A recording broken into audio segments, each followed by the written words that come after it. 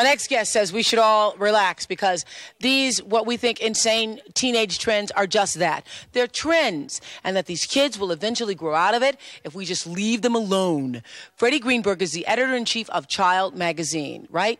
Yep. Yeah, and you know, I was going to ask. I was going to ask some of these mothers. Do you remember what it was like when you were growing up? Yeah, I told my mother last night. I know it's payback because I did the bell bottoms, I did the window pane, I cut my hair from all the way down here to real short, washed it with Tide to get it natural, and dyed it red when I was 14. So I understand this is payback. Oh yeah, this is but deep I'm payback. Over, I'm over it, and I'm an only child, and so is he. So I'm like, this is payback. Yeah. I was basically a very plain person. Um, I wasn't I wasn't too much like my daughter at all. As a matter of fact, so you never had, had any conflicts with your parents about uh, where to go and and and uh, now where to where to go sometimes curfews and clothes. You never had any kind of not much, no. not much. You didn't. Perfect child. Perfect child. That's my parents. No. Uh, I guess probably the the closest controversy I ever had was my father in the in the short skirts, and when yeah. we were talking many. we were talking I really look back and think, how in the world did I not show a lot of my body that I probably shouldn't have been showing, but I'm sure I did. Yeah. It's probably payback time. I was dressed in bell bottoms and I had real long hair, and my parents hated it.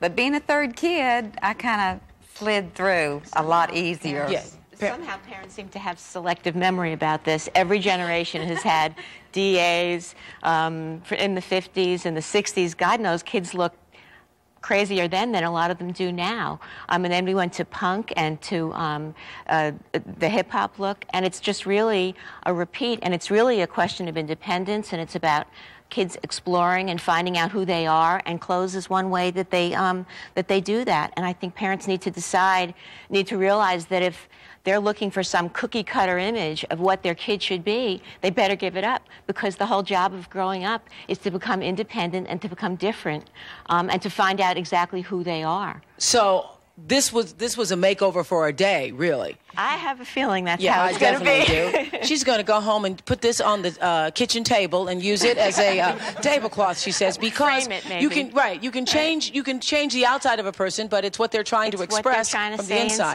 inside. Right, and that's what growing up is really all about. Um, it's finding out. My daughter told me the other day, you know, sometimes um, it's not only about um, independence; it's about exploration. And sometimes kids go very far in one direction direction or another before they can go back and find what really feels comfortable. And a lot of what we're seeing here um, is that sort of real extreme end. Um, and parents need to know that as long as a kid is doing well in school, has friends, is physically healthy, um, seems to be communicating with them, the clothes are really not something to worry about. Hi, YouTubers. I'm excited to give you an update about our own YouTube channel.